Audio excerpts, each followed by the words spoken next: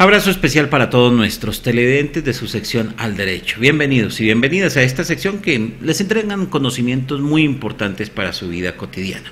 Ustedes saben que está la Superintendencia de Industria y Comercio y que los consumidores tenemos un estatuto que se llama de protección al consumidor.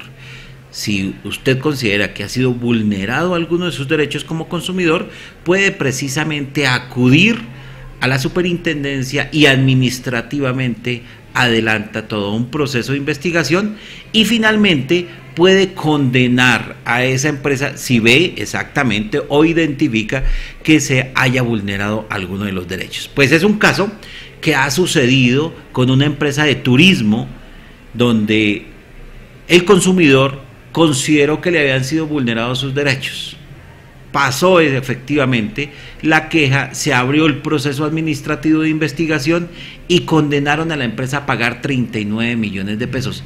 Pero miren esto, la empresa colocó una acción de tutela y en las últimas horas la Sala Civil de la Corte Suprema de Justicia ha definido algo respecto a la acción de tutela que lo vamos a conocer ahora. En un fallo reciente, la Sala Civil de la Corte Suprema explicó que por regla general la acción de tutela no procede contra providencia judicial y por tanto solo en formas excepcional resulta viable la prosperidad del amparo para atacar dichas decisiones, solo en forma excepcional. Es decir, la general es que no procede la acción de tutela, pero solo en forma excepcional, sí. Seguidamente la sala estudió el reclamo constitucional en contra de un fallo adoptado por parte de la Superintendencia de Industria y Comercio en un proceso de protección al consumidor, en el que se resolvió declarar que la sociedad accionante incumplió una serie de preceptos del Estatuto de Consumidor en un contrato de servicios turísticos y en consecuencia la condenó a la devolución de 39 millones a favor de la parte demandante. Según el concepto de la compañía hotelera, dicha sentencia incurrió en varias irregularidades. La sentencia de la superintendencia. Primera, señalar hechos nuevos en la fijación de litigio sobre las cuales no tuvo oportunidad de allegar pruebas. Des en cuenta, la fijación de litigio se da exactamente en la audiencia inicial. Entonces, con posterioridad se hizo una fijación de litigios adicional fijación de litigios, ¿qué es? Es exactamente examinar dónde están las controversias entre el accionante o el demandante y el demandado. Porque si los hechos son ciertos, pues no va a haber controversia y no hay nada que definir. Pero si los hechos son contradictorios, el juez es el que tiene que entrar a definir. ¿Y quién define esos hechos contradictorios? A eso se le llama fijación de litigio, exactamente. Y lo tiene que definir en audiencia. Segundo, se valoró indebidamente la inasistencia a la audiencia. Y tercero, existió indebida aplicación de la normatividad. Y como cuarto, la imposición de la multa. Atención a esto, se realizó sin una debida motivación por cuanto no se explicaron los motivos para su tasación. Hay algo que se llama la coherencia entre la parte emotiva y la parte resolutiva de los actos administrativos. Y si se iba a expedir una sentencia por parte de la superintendencia, pues debía existir exactamente esa coherencia entre la parte emotiva y la parte resolutiva. Es decir, lo que condenó la superintendencia debía estar sustentado en la parte emotiva.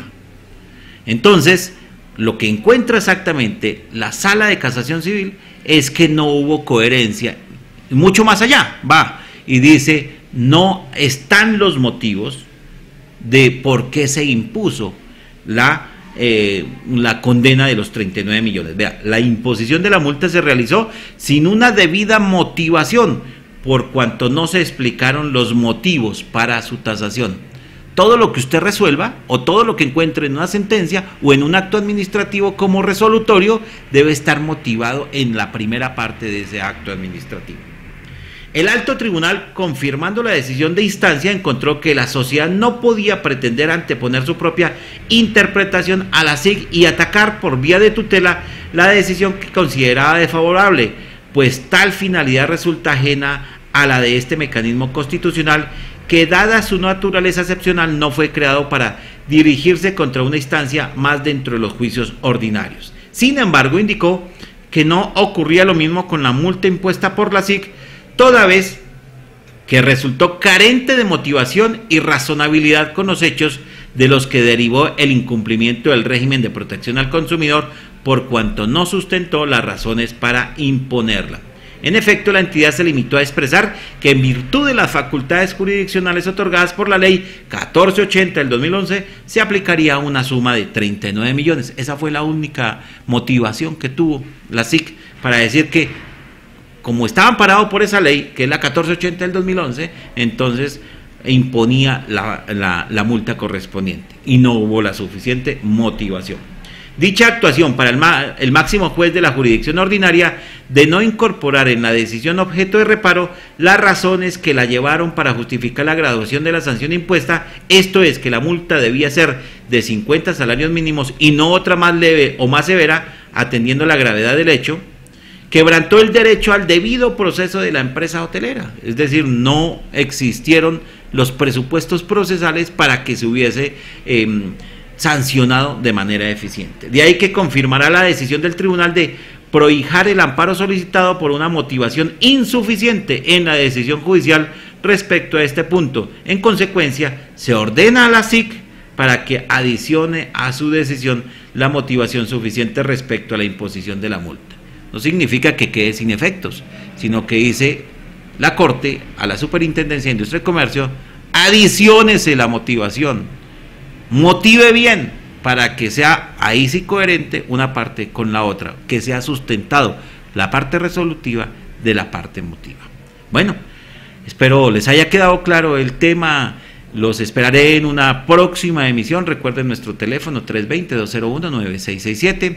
Nuestro correo electrónico vargasabogadostunja.gmail.com y nuestra cuenta de Twitter arroba Héctor José VE. Estamos ubicados en la carrera 11, número 2024, oficina 302 de la ciudad de Tuna. Gracias y que tengan un muy buen día.